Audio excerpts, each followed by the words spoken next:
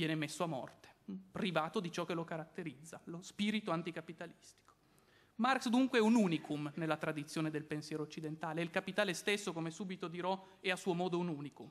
È un unicum per molti motivi. Qui mi piacerebbe ricordarne semplicemente due intrecciati fra loro e credo di grande rilievo. Anzitutto perché con Marx la filosofia cessa di essere ciò che era stata fino a quel momento e diventa qualcosa di nuovo.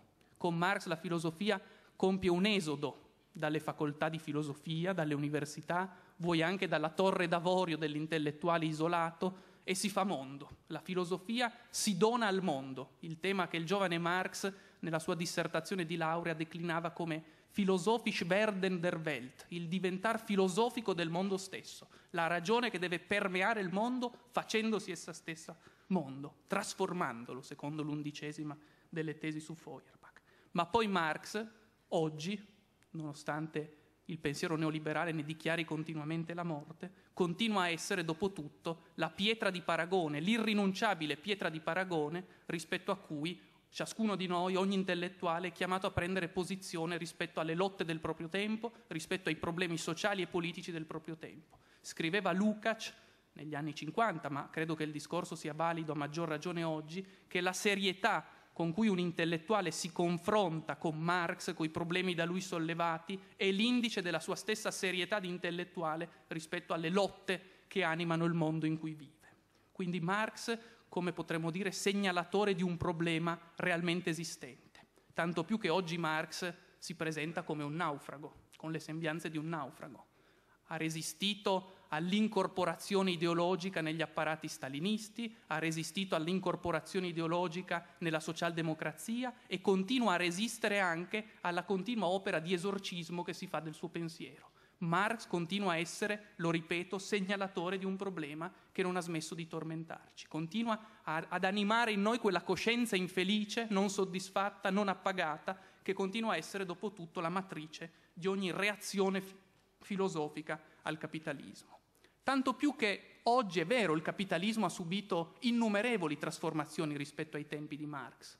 È cambiato moltissimo, sono tali e tante le trasformazioni che sarebbe sicuramente limitativo applicare le sole lenti interpretative marxiane per decifrare i movimenti dell'economia e del mondo capitalistico oggi. Chi lo facesse, chi cioè applicasse le sole lenti interpretative marxiane, sarebbe votato probabilmente alla miopia ma sono anche convinto che chi rinunciasse preventivamente alle lenti interpretative di Marx sarebbe perciò stesso votato alla cecità completa, giacché senza quelle lenti non si può capire nulla di un mondo che nonostante i tanti mutamenti che ha subito continua a essere animato dalla contraddizione che Marx nell'Ottocento vi aveva scorto, la contraddizione del capitalismo. Marx, dopo tutto, continua a essere due cose irrinunciabili nel nostro orizzonte storico, l'orizzonte della forma merce assolutizzata, intrascendibile. Marx continua a rappresentare la più glaciale critica del capitalismo, inteso come massima alienazione dell'uomo rispetto alle proprie potenzialità ontologiche, e continua poi a rappresentare la più suadente promessa di felicità di cui il pensiero moderno sia stato capace, quella ulteriorità nobilitante di cui dicevo prima. Appunto, è questo, questa unione di critica radicale e di promessa inevasa di felicità a venire, la struttura che abita intimamente il capitale. L'opera su cui, come diceva Althusser, Marx deve essere valutato. L'opera principale, il punto d'arrivo, se vogliamo, del suo percorso. Opera essa stessa spettrale per molti versi. Il capitale di Marx, non meno dell'autore dell'opera, continua a essere oggi uno spettro ossessionante.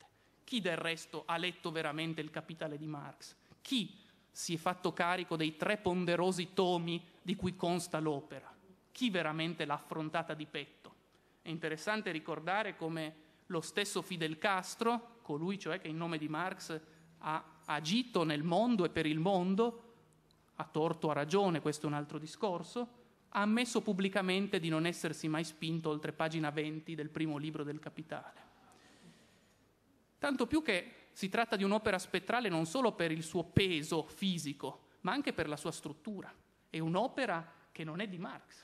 Marx ha scritto solo il primo libro, gli altri due sono stati redatti da Engels su materiali certo marxiani, ma non coerentizzati, non strutturalmente portati a termine da Marx e pubblicati quando Marx già non c'era più e non poteva eh, prendere posizione rispetto ad essi.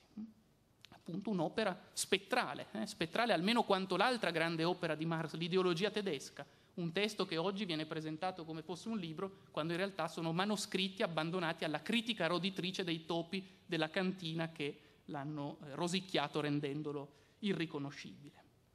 Un'opera non di Marx dunque e che per di più porta con sé la dannazione che era tipica di Marx, l'incompiutezza. Il capitale è un'opera anch'essa incompiuta come larga parte della produzione di Marx.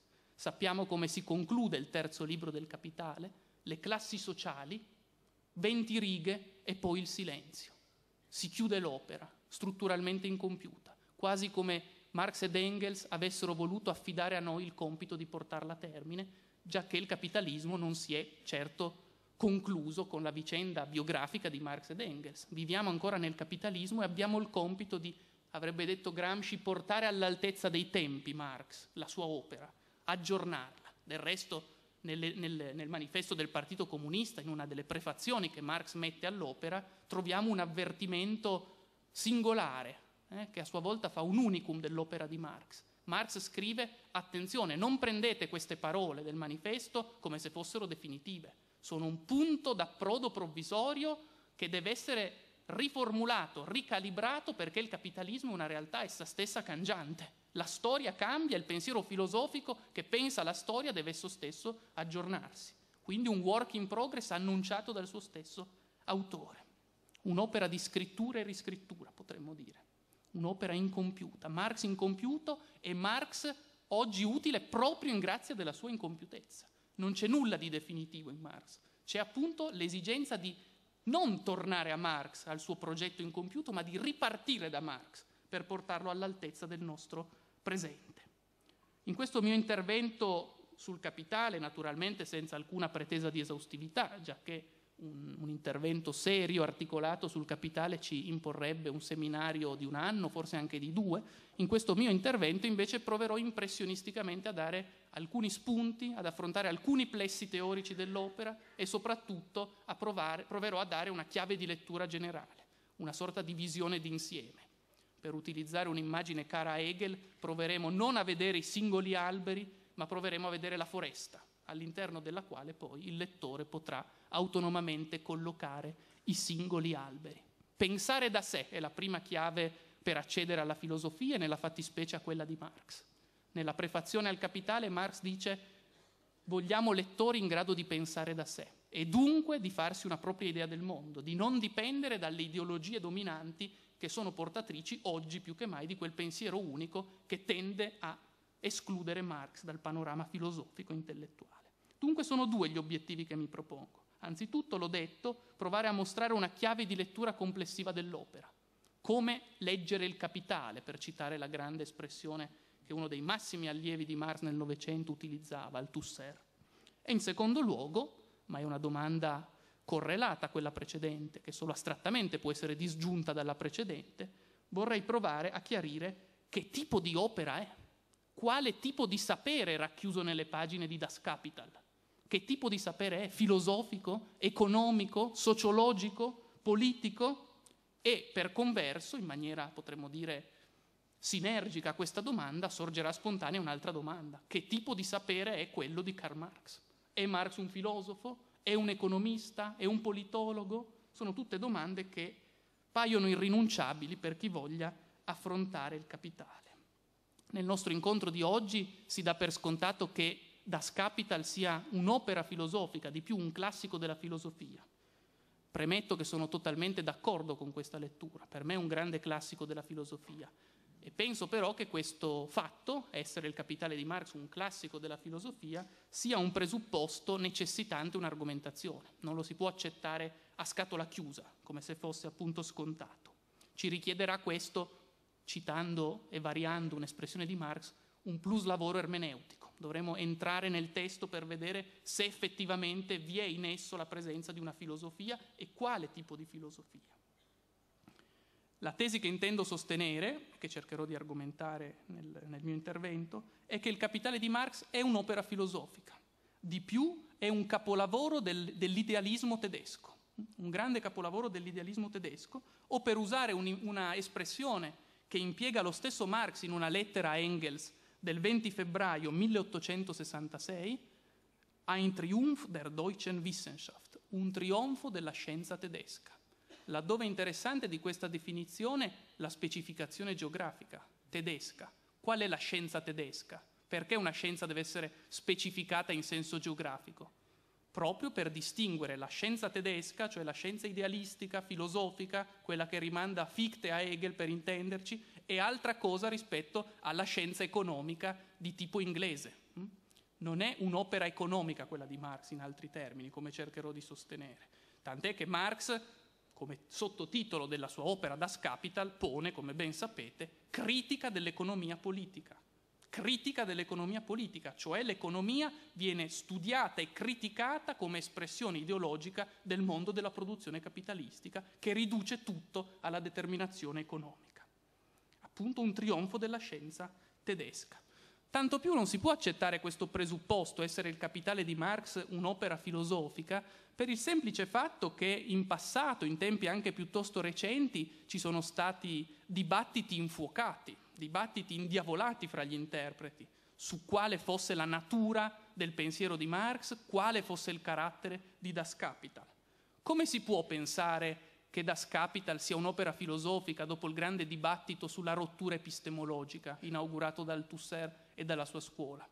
Come si può pensare che Das Kapital sia un'opera filosofica quando da noi in Italia Galvano della Volpe ha mostrato in maniera molto chiara esservi in Marx un congedo della filosofia risalente almeno al 1843? Come è possibile allora dare per scontato tutto questo? Ripeto, ci vuole un plus lavoro ermeneutico un plus lavoro ermeneutico che tenga ben presente il fatto che l'opera di Marx, come ben sapete, è strutturalmente pluridisciplinare. I campi del sapere più diversi attraversano il capitale, si intersecano, si intrecciano a geometrie variabili, l'economia, gli studi sociologici sul campo delle, della condizione della classe operaia, gli studi storici sull'accumulazione originaria, gli studi filosofici anche sulla forma merce, formano, potremmo dire, un, una totalità espressiva che sembra sfuggire alla presa unica di ogni sapere.